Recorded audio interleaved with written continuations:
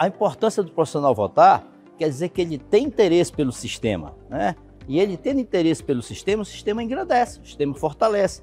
Então, o que faz um sistema? Profissional. A forma da gente administrar, o conhecimento que a gente tem do sistema, a cobrança que a gente fez do sistema, a entrega que a gente fez aproveitando os programas que estão dentro do sistema. Aliás, eu, nesses meus dois mandatos, eu tive participação ativa na formulação de dois programas, que foi a Reengenharia e o Fortalece.